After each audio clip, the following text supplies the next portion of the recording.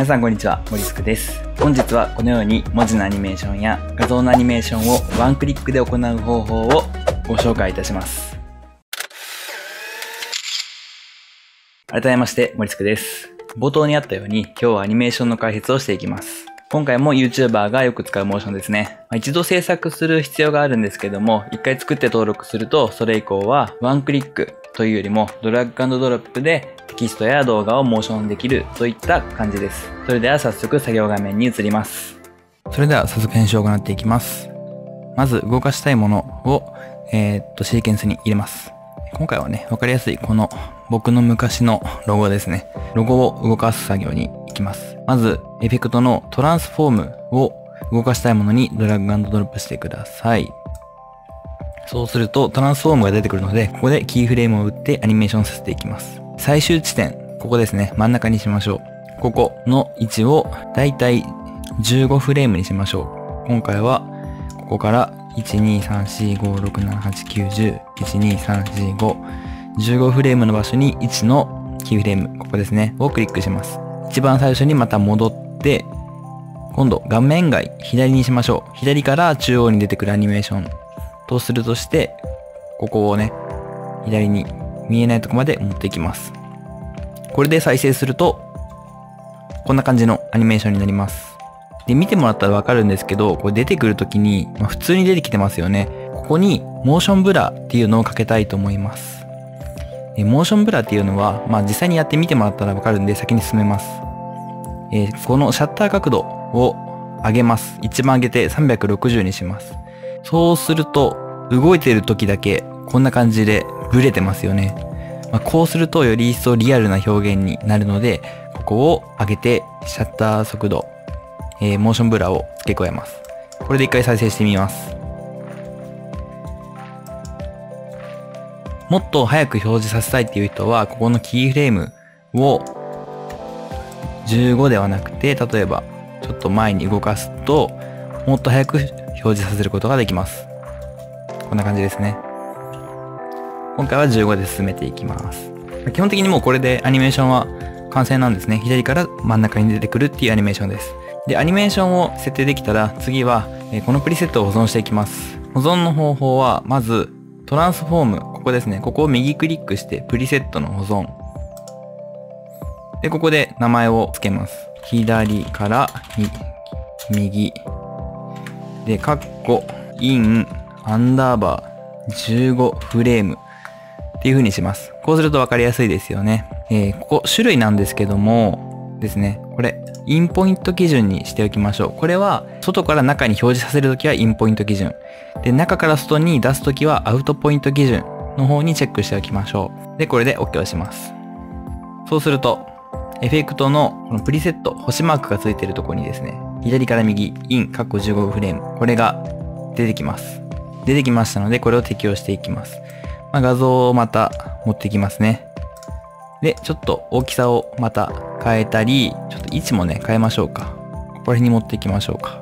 適用させるときは、この15フレーム、これですね。これをカットしてあげます。素材をカットしてあげます。1、2、3、4、5、6、7、8、9、10、1、2、3、4、5。カットします。カットして、最初のところに、これにドラッグドロップで適用します。そうすると、こんな感じで適用されますね。で、あんまり気にならないんですけど、スタート位置がここなんですね。もし気になる人は、えーここ、もっと左に持ってってあげたらいいんですけど、まあ、それ毎回やるのめんどくさいですよね。そういう場合は、ここをクリックして、コントロール D でクロスディゾルブルをかけます。で、ちょっとだけ短くします。そうすると、ちょっとずつ表示されて出てくる感じになるので、で、これだと結構自然ですね。こんな感じで表示できます。ちなみに、えー必ず15フレームここで切ってください。えー切らないと一番最後まで適用されて、最後、ここから外に出すエフェクトかけるときに、左から右イン15フレームっていうのが重複してしまうので、まあとりあえずここカットしましょう。中から外に消えるのを作りましょうか。じゃあここからアウトしましょうか。えー一度素材分かりやすいようにカットします。で、ここからアウトにします。で、トランスフォーム、また一回、えー消します。で、ここから、1、2、3、4、5、6、7、8、9、10、1、2、3、4、5、15フレーム。こっち消しておきます。最後の15フレームですね。ここで適用していきます。トランスフォームをまた挿入して、位置にチェック入れます。で、15フレーム後、ここですね。ここの位置を今度は外にします。この右側に出ていく感じですね。はい。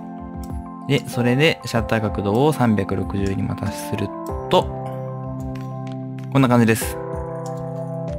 外に出ていきます。まあ、とりあえずつけたら、えートランスフォームで、えー保存していきます。さっきと一緒です。プリセットの保存。で、えー左からみ、左から右、カッコアウトアウトアンダーバー 15F で、アウトポイント基準にチェック入れて、OK です。はい。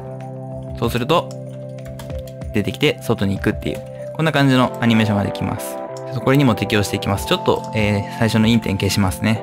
場所を分かりやすいように、まあ、これにしましょうか。せっかくなんでインテンも入れていきましょう。これはドラッグドロップで入れますね。はい。こんな感じです。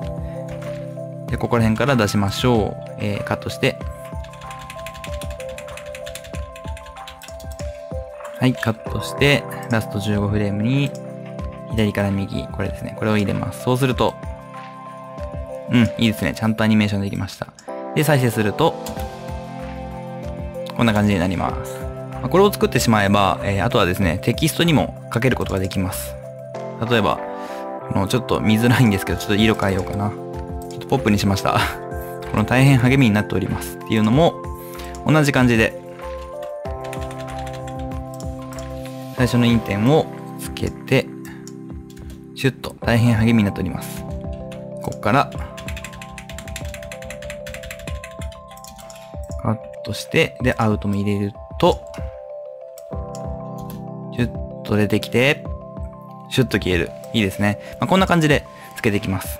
じゃあ今度、このテキストで、え別のも作っていきます。大きく出てくるやつにしましょうか。ちょっとこれ後々めんどくさくなるんで、まずテキストの位置を画面の中央にしておきましょう。これ言ってなかったんですけど、あの登録する際に気をつけないといけないのが、その文字の位置をど真ん中にしておきましょう、画面の。ここです。まあ、なので、とりあえず何も考えずに、このモーションを作る際は、中央にしてから作っていってください。じゃあ、最初の場所は打たずに、え20フレーム。20フレーム後にスケールにチェック入れます。最初のフレームを0にします。同じようにシャッター角度も入れるんですけど、ちょっと味気ないので、1、2、3、4、5、5フレームのところに、えー120、120にして、1、2、3、4、5でまた100にします。そうすると、こんな感じになります。最初の、これですね、ここの、えーキーフレームの2つ目の100を消します。そうすると、こんなになります。ヒュッと。ちょっとこれゆっくりなんで、ここの位置を間隔を詰めます。左に持っていくと、こんな感じになります。いいですね。シュッと。これも登録します。トランスフォーム右クリックプリセットの保存で、ズーム、カッコ、イン、えー、アンダーバー。で、インポイント基準にして、OK です。で、これにも適用しています。1、2、3、4、5、6、7、8、9、10。1、2、3、4、5、6、7、8、9、10、1、2。はい。これに、登録したもの、これですね。を持っていくと、